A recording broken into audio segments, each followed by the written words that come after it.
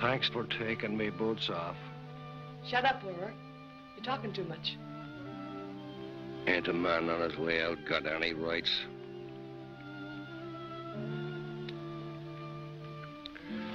Eddie, you're wrong about Lucky. No, I'm not. He's hard and bitter and he hates me. He hates you because of another woman. She made a living dead man of him. How do you mean? I'll tell you because he needs somebody that understands him after I go. You're not going anywhere. Listen, Eddie. Back in 31, I was putting a station in on the Portuguese coast. And a German outfit wanted the concession. So they turned the mob on him. What about the woman? They thought the world of her. But the Germans got her to take him away from his post the night of the riot. All his men were massacred. All. When he found out what she had done, it took the heart out of him. He couldn't... He couldn't bring himself to tell the truth about her.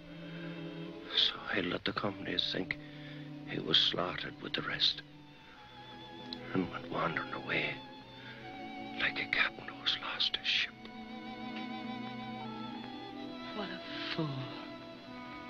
What a fool he was. No, he's proud. He's a proud man. He'd rather hate all women than hurt one. Here, Tim.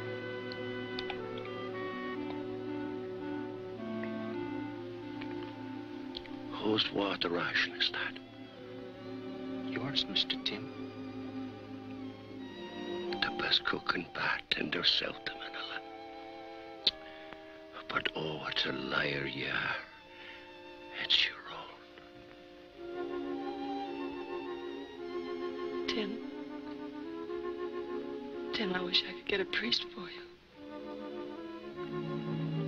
If an angel blesses me, more could any man ask?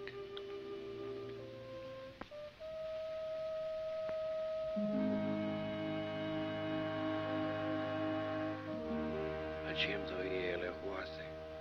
The no bora wahaje. The no be a larth ankle. The one bus chu the knee has spoiled peth agus po. Go hella go fragus she go shin. Is more ye.